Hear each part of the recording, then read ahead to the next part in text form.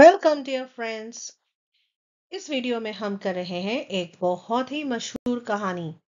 The hare and the tortoise खरगोश और कछुए की कहानी।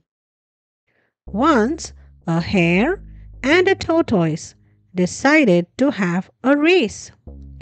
एक बार, एक खरगोश ने और एक कछुए ने फैसला किया कि वो दौड़ लगाएँगे। खरगोश ने कहा you are so slow I am so fast खरगोश ने कहा कि तुम कितने सुस्त हो। तुम कितना धीरे चलते हो। और मैं कितना तेज हूँ। फिर कछुए ने खरगोश से कहा let us run a race up to the mango tree चलो, दौड़ लगाते हैं उस आम के दरख्त तक. इस बात को सुनकर खरगोश को बड़ी हँसी आई और वो ज़ोर ज़ोर से हंसने लगा। हा हा हा! द रेस बिगैन फिर रेस शुरू हो गई। The hare ran with long leaves और जो खरगोश है, लंबी छलांगे लगाते हुए भागने लगा। Hop hop hop hop hop hop the hare came to a carrot patch और भागते भागते जो खरगोश है, वो एक गाजर के खेत के पास आया।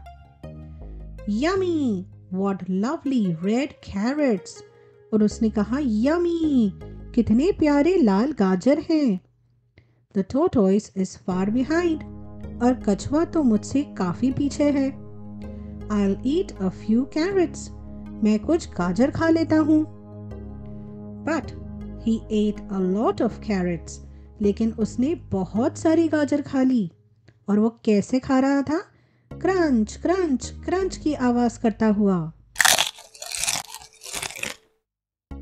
Then the hare came to a radish patch. फिर जो खरगोश है, वो एक मूली के खेत के पास आया। स्लर्प स्लर्प, वो आवाज़ होती है जब हमारे मुँह में पानी आता है। वॉट जूसी वाइट रेडिशेस क्या मज़ेदार मूलियाँ हैं। आई ईट ओनली अ फ्यू मैं सिर्फ़ कुछ ही खाऊँगा। But he ate up quite a few लेकिन उसने कुछ ज़्यादा ही मूलियाँ खा ली। और कैसी आवाज़ निकाल रहा था वो खाते वक्त? Chomp chomp chomp. Then the hare came to another vegetable patch फिर उसके बाद खरगोश एक सब्जियों के खेत के पास आया। फ्रेश लीफी वेजिटेबल्स और उसने कहा कि क्या ताज़ी हरी भरी सब्ज़ियाँ हैं। सो गुड टू ईट खाने के लिए कितनी अच्छी हैं। So he ate up quite a few और उसने फिर से कई सारी सब्ज़ियाँ खा ली। और खाते वक्त कैसी आवाज़ें निकाल रहा था? Munch munch munch the hare was now too full अब जो खरगोश है, उसका पेट बहुत भर गया था। ही रैन हॉपिटी हॉप हॉपिटी हॉप पहले वो कैसे भाग रहा था? हॉप हॉप हॉप तेज़ी से भाग रहा था। लेकिन अब उसकी रफ्तार कम हो चुकी थी। इसलिए अब आवाज़ कैसी आ रही है उसके भागने की? Hoppity hop hoppity hop he was feeling very sleepy उसे बहुत नींद आने लगी थी। I take a little nap उसने सोचा कि मैं एक छोटी सी नींद ले लेता हूँ। He slept under a tree और वो एक दरख्त के नीचे सो गया। He slept on and on और वो सोता ही रहा। All this while the tortoise didn't stop और इस दौरान कछुआ बिल्कुल नहीं रुका। He walked on and on और वो चलता ही रहा।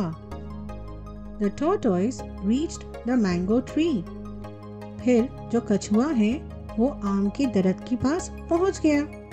द हेयर वोक अप और खरगोश जाग उठा। He ran to the mango tree और वो आम की दरख्त की ओर दौड़ने लगा। What did the hare see?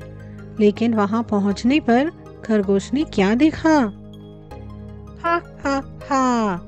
हमारा जो कछुआ है, वो हंस रहा था। हा हा हा। Slow but steady wins the race और उसने क्या कहा? कि आहिस्ता ही सही, लेकिन जो मुसलसल चलता है, वही दौड़ जीतता है। इस कहानी का सबक क्या है? कि जल्दबाजी से कुछ नहीं मिलता। सब्र और मेहनत से ही हम मंजिल तक पहुँच सकते हैं। आहिस्ता और मुसलसल मेहनत करने वाला ही कामयाब होता है। Thank you for watching dear children ऐसे और वीडियोस के लिए हमारे चैनल को ज़रूर सब्सक्राइब कीजिए और वीडियोस को लाइक और शेयर कीजिए। Bye bye